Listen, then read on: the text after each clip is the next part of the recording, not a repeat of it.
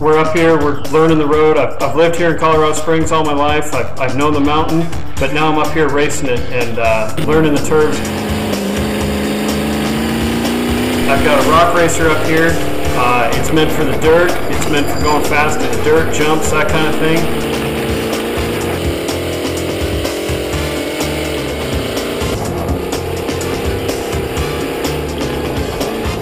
We got a 12.42 mile course with a 5,000 foot elevation climb.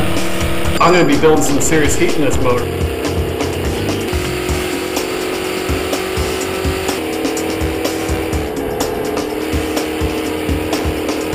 I'm challenged by that mountain and I, I just want so bad to get to the top of that mountain.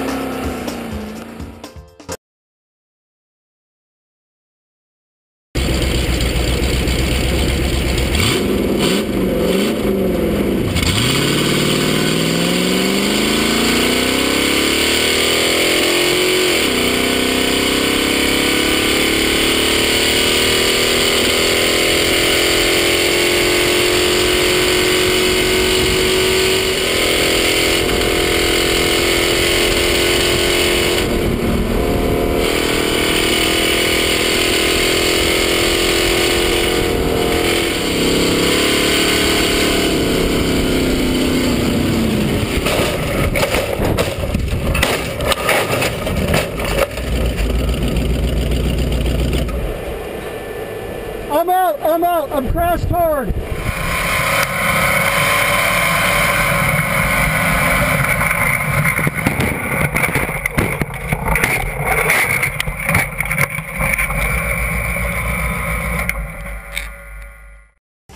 I set up for a turn. I, I missed the apex of the turn. Apexed a little bit too early. Rear end started sliding. Rear end hooked up and uh, went over a couple of times from there. I remember seeing seeing the course the wrong way, seeing the course 180 degrees from what it should be. Okay, go.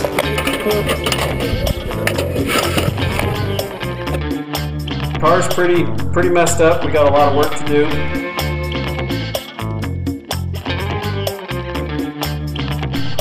I'm going to tackle that hill again. It's it's in my blood now, and and there's no giving up.